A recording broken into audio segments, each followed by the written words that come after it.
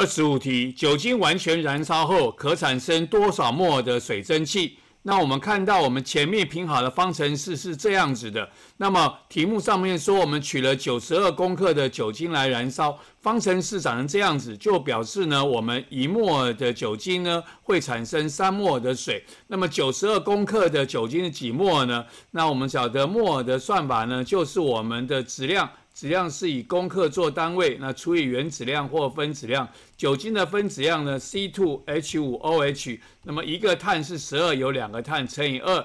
一个氢是一，总共有六个氢乘以六。一个氧是十六，有一个氧，所以乘以一。所以呢，这边就是二十四，要加上我们的六，再加上我们的十六，所以合起来就是四十六。所以我们的。酒精的分子量四十六，我们现在有九十二公克除以四十六，就是有两摩，所以我们的一摩尔的酒精会产生三摩尔的水。那么现在两摩的酒精呢，就会产生六摩尔的水。所以第二十五题问我们说，酒精完全燃烧后可以产生多少摩尔的水蒸气？我们答案选的是 C，六摩尔。